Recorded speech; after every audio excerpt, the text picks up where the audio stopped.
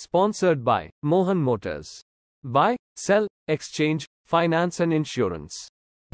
वारंगल जिला बीजेपी वारंगल के जिला अध्यक्ष कोंडेती श्रीधर ने मांग की है कि टीएसपीएससी पेपर लीक में शामिल लोगों को दंडित करने और परीक्षा में बैठने वाले प्रत्येक छात्र को एक लाख रुपए का मुआवजा देने के लिए उच्च न्यायालय के वर्तमान न्यायाधीश द्वारा जाँच होनी चाहिए बीजेपी के नेताओं ने वारंगल इटलू सेवा केंद्र पर धरना दिया और मांग की है कि एस पी एस यूकेजी के लिए जिम्मेदार लोगों को दंडित किया जाए और उच्च न्यायालय के मौजूदा न्यायाधीश के साथ जाँच की जाए और प्रभावित छात्रों को तुरंत न्याय मिले।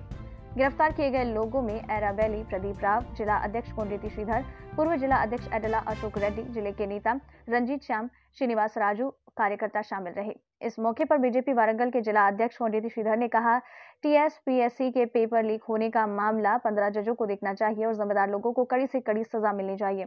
तेलंगाना वारंगल नो भारत समाचार से कैमरामैन महेंद्र के साथ अक्रम की रिपोर्ट నిన్న జరిగిన టీఎస్పీసీ ఏదైతే నిరుద్యోగులపై తీసుకున్న నిర్ణయాన్ని వెంటనే రద్దుపరచాలని భారతీయ జనతా పార్టీ పక్షాన డిమాండ్ చేస్తున్నాం ఎందుకంటే దాదాపు పేద విద్యార్థులు పేద విద్యార్థులు వాళ్ళ కుటుంబం మీద ఆధారపడి వాళ్ళ తల్లిదండ్రులు కష్టపడి ఎండకు ఎండి వానకు తడిచి పిల్లలు చదువుకొని రేపు రాబోయే రోజుల్లో మా భవిష్యత్తును కాపాడతారనే ఆశతో వాళ్ళు మరి కాపాడి వాళ్ళను పెంచి పెంచి ఉద్యోగాలు రాయాలని ఉద్యోగాలు వస్తాయని ఆశతో ఉన్న తరుణంలో ఈ టీఆర్ఎస్ పార్టీ బీఆర్ఎస్ పార్టీగా మారి నుండి కేటీఆర్ గారు ఏదైతే కేటీఆర్ గారు ఏదైతే జీవో తెచ్చిందో ఆ దానికి ఆ జీవోకు వెంటనే రద్దు చేయాలని భారతీయ జనతా పార్టీ పక్కన డిమాండ్ చేస్తున్నాం. నిరుద్యోగులు ఏదైతే మీరు తీసుకున్న నిర్ణయానికి పేద విద్యార్థులు ఇబ్బందులు పడ్డవారందరూ కూడా వెంటనే లక్ష రూపాయలు నష్టపరిహారం కలిగించాలనుకున్నాను అదేవిధంగా